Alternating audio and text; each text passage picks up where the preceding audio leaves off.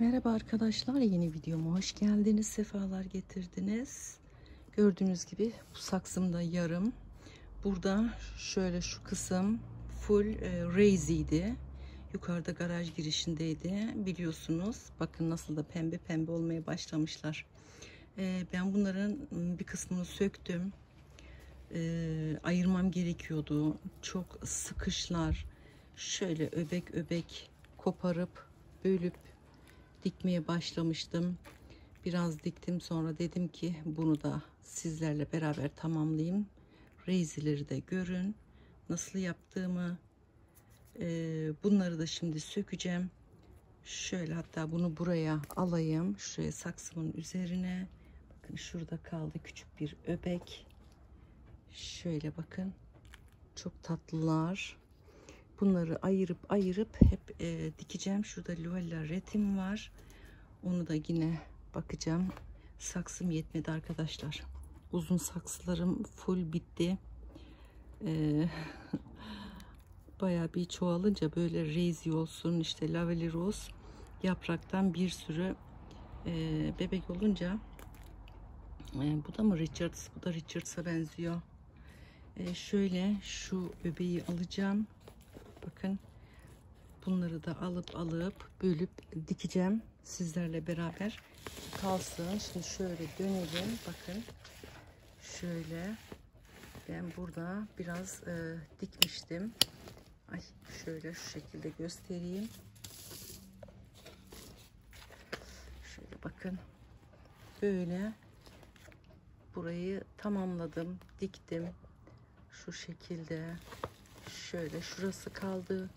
Orayı da şimdi birlikte tamamlayalım. Reziler arkadaşlar e, o kadar güzel, o kadar tatlı pembe renkleniyor ki renklendiğinde görseniz benim e, gönderilerimde yine öne çıkanlarda falan e, hep vardır. E, ya inanılmaz güzel renkleniyor. Şuradan mesela şu öbeği göstereyim. Gül gibi gül gibi çiçek gibi şöyle harika renklenmesi olan çok cezbedici minik rozetli bir tür e, yapraktan çoğalıyor. Gördüğünüz gibi hatta öbek öbek yavru veriyor. Hep havai kök yapmışlar. Artık böl beni ayır beni rahatlat beni diyorlar. E, dediğim gibi yapraktan çok güzel çoğalıyor. Mesela aldığınız e, her yaprak yerinden tekrar bir rozet çıkıyor böyle böyle böyle böyle e, tepecikler oluşuyor. Üst üste üst üste gördüğünüz gibi böyle öbek öbek oluyor. E, harika form yapmak sizin elinizde. Ne kadar çok e, yavru alırsanız bölerseniz o kadar e, güzel oluyorlar. Şimdi yine ben şöyle bir e, şuraya bir e, geçeyim. Şu şekilde. Şöyle. Şöyle şöyle mi yapayım? Şu şekilde.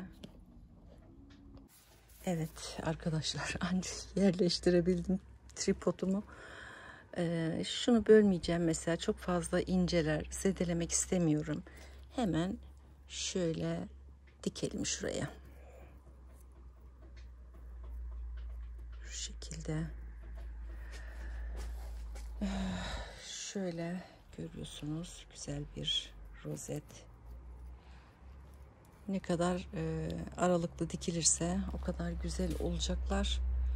Çünkü rozetler hmm, çok az da olsa büyüyecekler. Büyüme yeri yavru yapma yeri bırakalım.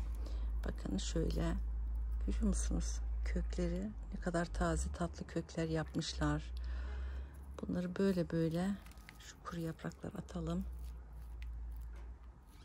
Görüyor musunuz? Nasıl güzel böyle kök yapmışlar. Bunları hep bölerek dikmek istiyorum. Şöyle toprağım güzel. Toprağımı şöyle şuraya dökeyim.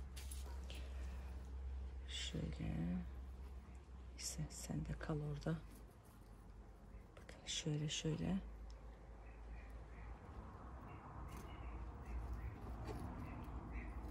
Rezi e, hassas bir tür değil arkadaşlar. Ee, bunda da hiç yaprak dökülmesi, böyle bir suya hassasiyet hiç görmedim, yaşamadım. e, suyu sever. Bu da suyu seviyor. E, güneşi çok seviyor. Ne kadar çok güneş o kadar renk yapıyor. Şimdi kışın harika renklenmeleri olacak. Şimdi böyle de bir rahatlattım ya bunu. Bunu yine e, yukarıya garaj girişine koyacağım. Bütün saksılarımı yine oraya koyacağım. Konumlandıracağım arkadaşlar. E, orada şu küçükleri aralara dikmek istiyorum. E, oradaki güneş e, iyi gelecek. Belki ön balkona da alabilirim bilmiyorum. Yine oralara tahtalarımı, aparatlarımı e, koymayı düşünüyorum. Şöyle. Çünkü e, güney cephe çok güzel bir şekilde e, güneşi var oranın ama e, yazın çok tehlikeli, kışın ideal. Hem soğuk hem güneş. Düşünün yani bitkilerimizin üzerine etkisini artık.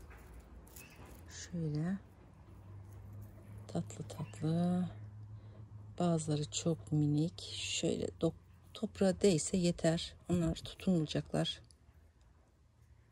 şöyle.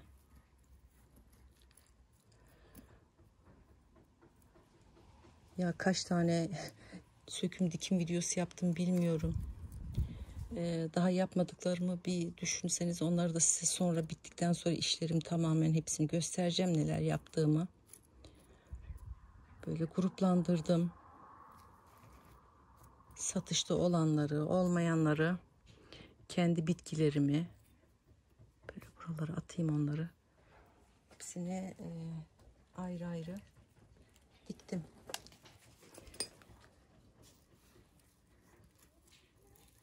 Daha çok yerlerini değiştiririm ben onların. Bakmayın şimdi bitirdikçe e, bir yerlere hemen e, konumlandırıyorum da daha sonra gözlemleyeceğim tabii ki neresi daha iyi gel gelip gelmediğini. Şunu da böleceğim. E, kümesin orası çok güzel. Kışın harika olacak orası. Geçen sene biliyorsunuz açıktı ora. E, üzerinde sadece e, naylon vardı. Yağmurdan işte kardan e, demeyeyim de yağmurdan daha çok hani korumak için amaçlı öyle üzeri e, naylon e, örtülüydü. E, daha sonra ziraydonlarda sadece ziraydon örtüsüyle ve üzerine tekrar naylon kapatarak korudum. E, açtım kapattım orayı hep o şekilde. Bu kış ne yapacağım? İşte bu kış ne yapacağım? bu kış ne yaparım bilmiyorum. Ben de bilmiyorum. Evet bir de şunu buldum arkadaşlar. Sağda solda olanları toparlıyorum şimdi. Burası açık kaldı. Sorun değil. Buraya da başka bitkiler dikeriz. Bakın şöyle verigatalı Victor verigata olmuş arkadaşlar. Aralarda sıkışmış kalmış. Bunu buldum. Görüyor musunuz verigatasını? Buraya dikelim bunu da. Ana bu ne? Ters. Yukarıda kalmış kökü. Ee, burayı da bir Victor dikelim. Yine şöyle. Bu Victor da buraya dikelim. Sonra da dikelim. Yine şurada da Evet, Victorlarımız var. Çelik olarak koptu. Köksüz geldi. Evet. Buraları böyle tamamlayacağız artık. Yapacak bir şey yok.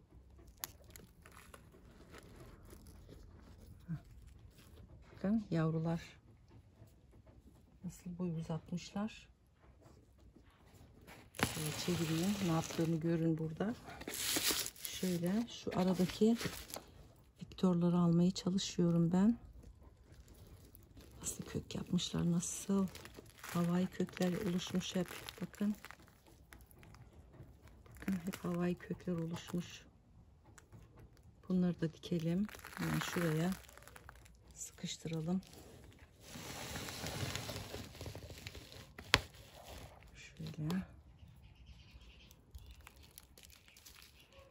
Zaten yaprak olarak da birbirlerine benziyorlar hemen hemen. O da minyatür, o da minyatür. Güneşi görünce birbirlerine benzerler bunlar. Olsun. Bu da böyle olsun. Hatta seni de böleyim. Çok güzel kök yapmış taze taze. Heh. Hadi bakalım. Hadi bakalım. Evet. Seni de buraya diktik. Başka oraya hemen ne ilave edebilirim? Ay hadi bu da nazarlık olsun. ne alaka? bir tane hangisi ise Echeveria. Bakın nasıl sıkışmışlar. Bakın size ne göstereceğim şurada şu saksımda yine. Şöyle çeviriyorum. Bakın. Şuraya bakın arkadaşlar. Şimdi yakınlaştıracağım. Şöyle getireyim. Bakar mısınız nasıl sıkışmış oraya? Ne olduğunu bilmiyorum. Şekil olarak falçataya benzemiş yeminle. Bakın söktüm. bakın pres olmuş. Şöyle. Bakın. Falçata gibi ezilmiş, büzülmüş garibim. Şurada bir şey var. Şöyle bir tırnaklı bir tür çıktı. Özel tür herhalde. İşte böyle bunlar kaldı. Bu saksıyı da şimdi en son düzenleyeceğim. Ee, ne yapayım ya? Şu falçatayı da şuraya dikivereyim bari. Bakın. Sonra düzelsin. Yani falçata değil arkadaşlar. Öyle ona benzettiğim için diyorum. Biliyor musunuz? Bilmiyorum falçatayı da. Ee, Krasul ailesinden. Şöyle. Biraz toprak işte.